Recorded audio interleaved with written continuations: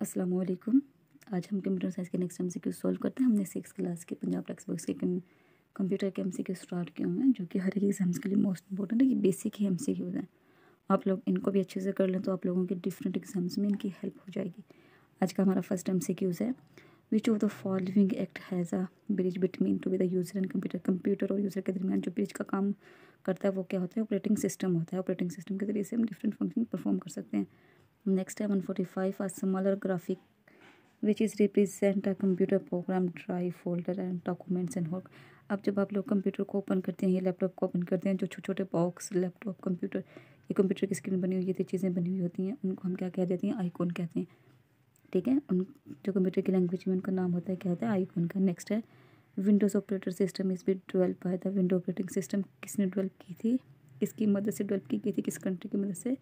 U S A की मदद से। नेक्स्ट है बायोस इज़ यूज़ बायोस का मीनिंग होता है आउटपुट एंड इनपुट डिवाइसेस और ये किसके अंदर यूज़ की जाती हैं? By the operating system operating system के अंदर इसको हम क्या करते हैं? यूज़ करते हैं।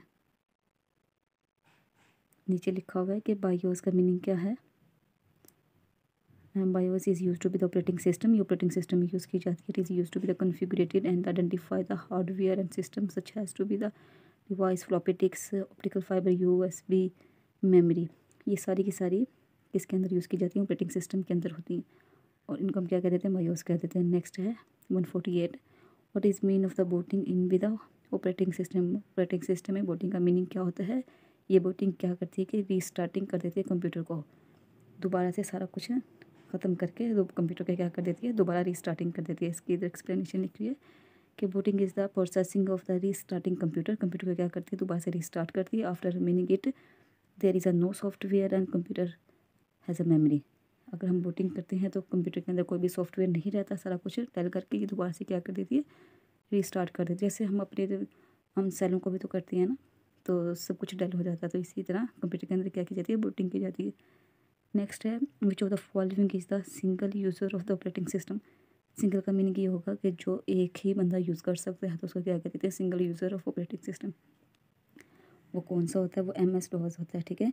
जिसके ज़रिए से क्या किया जाता है कि एक ही बंदा उसको यूज़ कर सकता है। नेक्स्ट है डेस्कटॉप इस कंटेंट हैज़ डेस्कटॉप के ऊपर क्या चीज़ें होती हैं? आईकॉन्स होती हैं, हर एक चीज़ के उसके ऊपर पाए जाते हैं। आईकॉन्स मीन्स फोल्डर्स जो कि हम डिफरेंट फोल्डर्स बना के रखते हैं। नेक्स्ट है, के bar which appears at the bottom of the computer desktop is turn है, जो नीचे पाई जाती है चीज़ें, उसको हम क्या कह देते हैं बार कह देते हैं, उसको, उसका नाम क्या होता है, टास्क बार। उसके ऊपर डिफरेंट किस्म के टास्क बार मौजूद होते हैं। स्टार्टिंग बटन भी उधर होता है ऑफ़ भी कर सकते हैं विंडो ऑपरेटर डिफरेंट चीज़ें। नेक्स्ट है टास्क बार इज़ भी placed at the dash of the screen of the Microsoft window Microsoft window की कहाँ पाई जाती है टास्क बार बॉटम पर पाई जाती है। जिस जगह पे ये हम लैपटॉप या कोई चीज़ ओपन करते हैं तो डॉट डॉट चीज़ लगे होते हैं, उनको हम क्या कह देते हैं टास्क बार कह देते हैं। उसके ऊपर इधर वॉल्यूम का भी बटन होता है कि चीज़ों को हम ज़्यादा भी कर सकते हैं, कम भी कर सकते हैं, ठीक है? उसको हम क्या कहते हैं टास्क बार कहते हैं। नेक्स्ट है one fifty three which of the following is an are the part of the task bar task bar का कौन सा पार्ट होता है? स्टार्टिंग बटन भी टास्क बार में पाया जाता है नोटिफिकेशन एरिया भी होता है, और क्योंकि लॉन्च टूल बार भी होता है। ये सारी की सारी टास्क बार है बट इधर ये ब्लैक है क्लियर नज़र नहीं आ रही। ये भी जिसके ज़रिए से हम स्टार्टिंग भी कर सकते हैं मिनिमाइज़ भी कर सकते हैं, सब कुछ कर सकते हैं, ठीक है?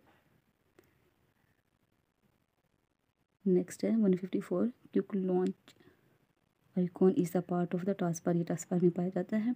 System track is also known has the notification area which of the following icon is display on the notification area कौन से नोटिफिकेशन एरिया में चीज़ें पाई जाती हैं? वो टाइम भी नोटिफिकेशन एरिया में पाया जाता है वॉल्यूम कंट्रोल भी पाया जाता है एंटी वायरस भी कहाँ पाए जाते हैं, ये सारे के सारे नोटिफिकेशन एरिया में पाए जाते हैं।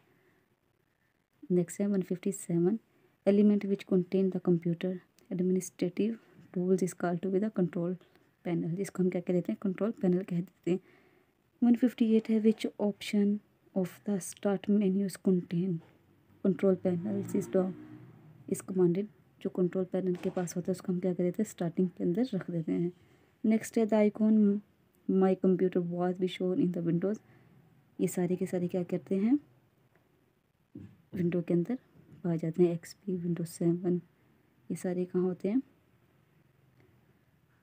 कंप्यूटर आइकॉन विंडो में पाए जाते हैं, जब हम कंप्यूटर को ओपन करते हैं।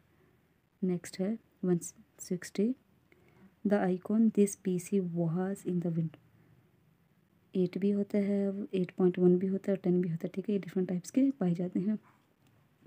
आज हमने विंडो के कुछ इंपॉर्टेंट एम किए हैं, ये जो कि हर एक एग्ज़ाम्स के लिए मोस्ट इंपॉर्टेंट है। आप लोग इनको अच्छे से एक बार रीड आउट कर लें नोट्स बना लें, जैसे भी आप लोगों को ऐसे लगे बट इनको करते रहें।